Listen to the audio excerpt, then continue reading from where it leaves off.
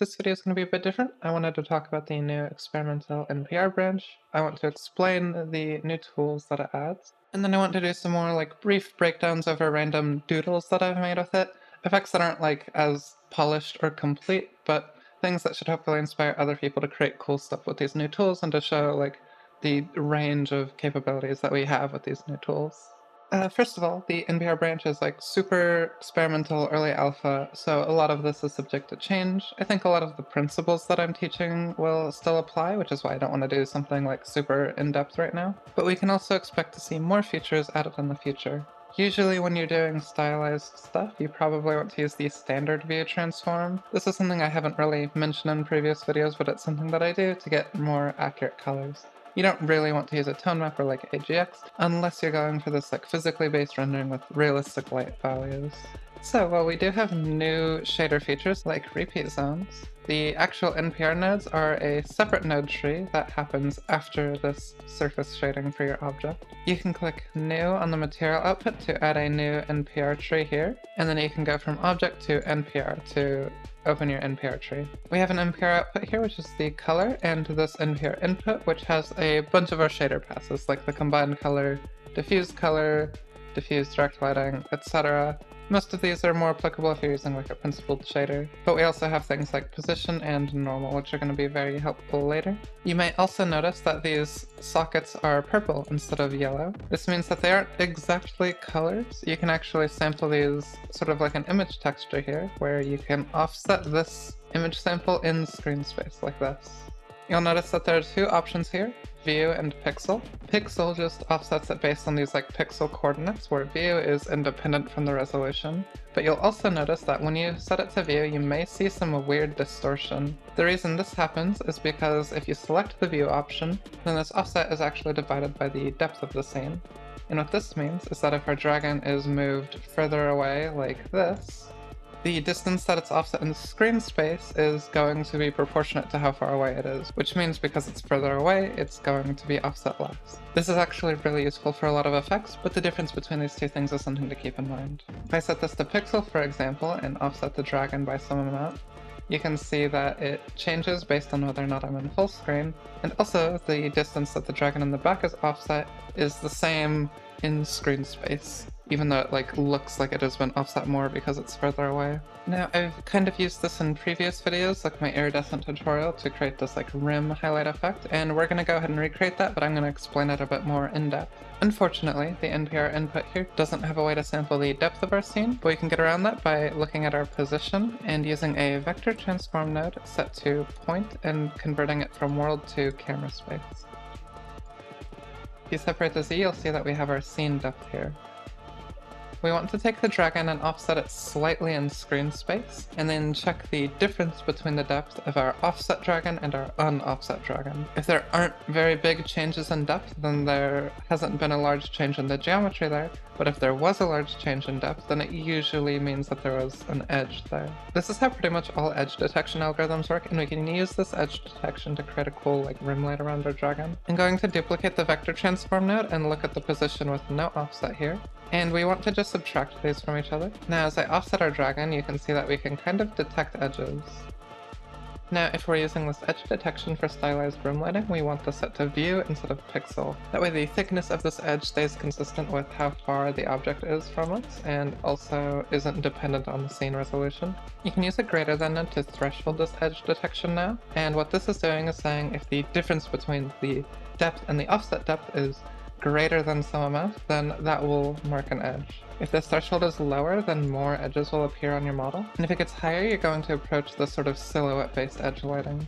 I'll keep it as like a silhouette thing for now just to make this a bit more readable. But what if we want this edge lighting to actually react to the lights in the scene? Luckily, NPR Nodes adds this really cool for each light zone, which is very similar to the repeat zone, except for the iteration count, it just loops over every light that would affect a respective pixel. Usually that means if you have two lights in your scene, it'll loop two times, but if you're working with point lights, for example, then it's not going to loop over a point light if it's outside the radius of that respective point light for optimization reasons, of course. You don't need to know that lighting information if it's not going to affect that pixel. This is really cool though because we have access to a whole lot of lighting information like color, direction, distance, attenuation, and shadow mask. If I were to just plug the shadow mask into the output here and look at the output of our for each light loop, it's going to show this black and white shadow mask for a single light source here. And if I duplicate this light, it's not going to show the shadow mask for the second light source. And the reason for that is because whatever we're putting here is kind of just overwriting whatever came before it. When we loop over our first light, the output goes into here, and we can actually see that output again here, but we aren't using that in this case. So we're just looking at the shadow mask for the last light that we looped over. Blender loops over the lights in a specific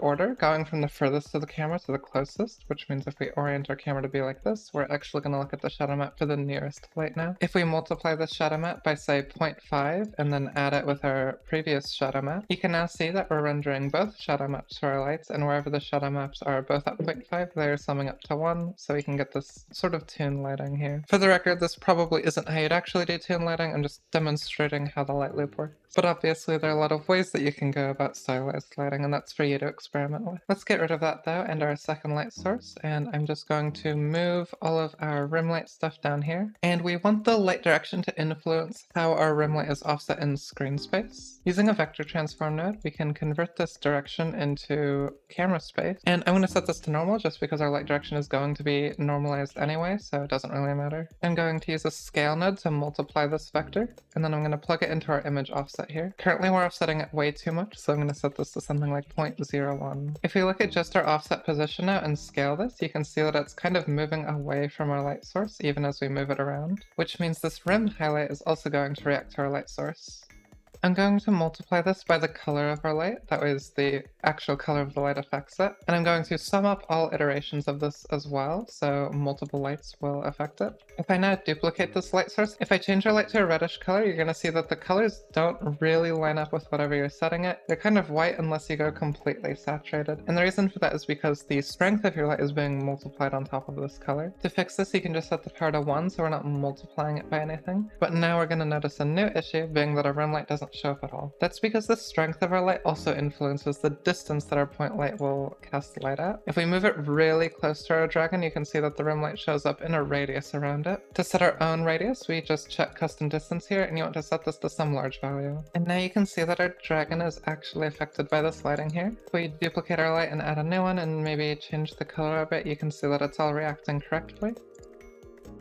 And you can even go as far as to change the blending mode for your lighting with this add node at the end. If you want this to be a bit more intuitive, you can also use the color mix node for these things. They do the same thing, doesn't really matter. If you set this to maximum, for example, then having multiple red lights won't actually brighten the red at all, because you're just going to pick the lightest values for each pixel instead of summing them up. And this is the same as using the lighten blend mode on the color mix node. If we try adding this to our mixed color, then sometimes it just doesn't like to work.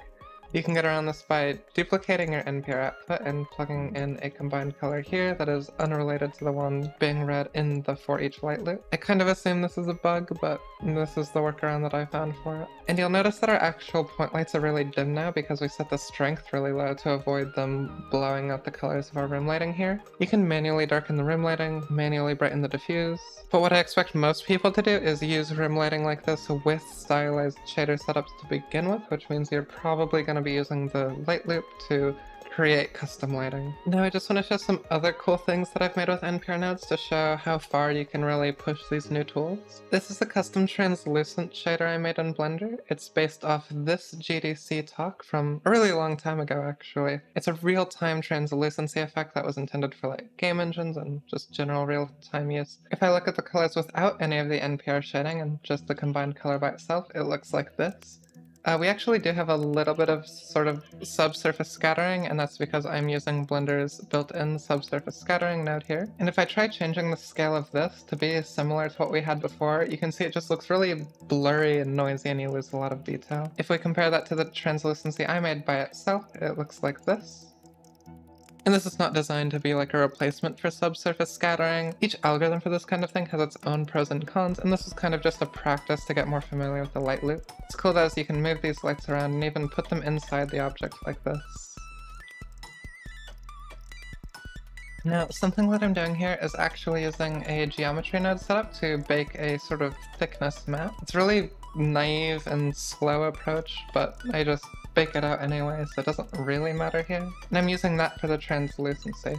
Obviously, if you want a more real-time approach, you could use ambient occlusion set to inside, for example. I just think this doesn't look as good, and I wanted to have a more accurate thickness map that didn't rely on any like screen space effects or noise or anything like that. You can also see that I'm using an AOV output here. This is a really cool feature of NPR nodes where you can actually have these custom AOV outputs and read them in your NPR tree. So you can see up here, I'm actually separating the XYZ here so I can read both the thickness map here and the ambient occlusion, which are both influencing the lighting. Something really cool is that because I sum this up with the combined colors to create this interesting material, I guess, you actually don't have to use subsurface scattering here. If you wanted to use something like glass, for example, this also creates a really cool look. I think it looks sort of like ice because ice has a lot of air bubbles and thus subsurface scattering or translucency in addition to the refractive material. And I know I said before that you generally want to use standard for NPR stuff, but this isn't really an NPR shader. Like, it's not as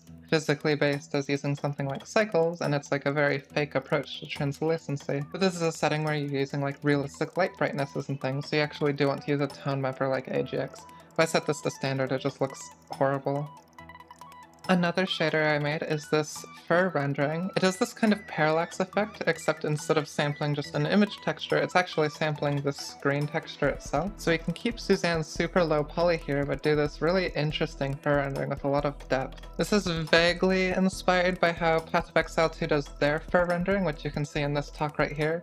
This talk also just has a lot of really cool Technicolor and inspirations if you want to take a look. I highly recommend it. And this effect here actually uses the repeat zone. If I disable dithering here, you can actually start to see the individual layers for a parallax, and we can change the number of layers using this value right here. By using white noise to dither our layers, we can make it much harder to see the actual visible layering, and instead we'll just get more or less noise depending on how many iterations we use.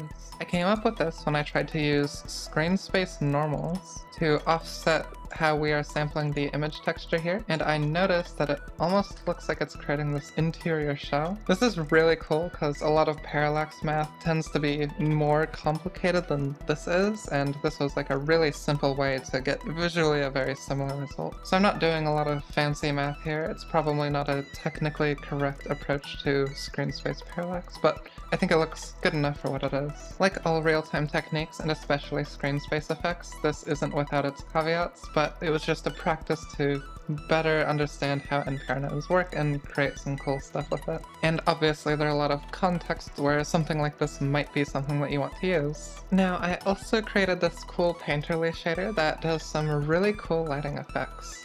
The issue is that because this is a very experimental Blender build, um, unfortunately if I try to open the file now it just crashes. So definitely be careful about using really early experimental alphas like this.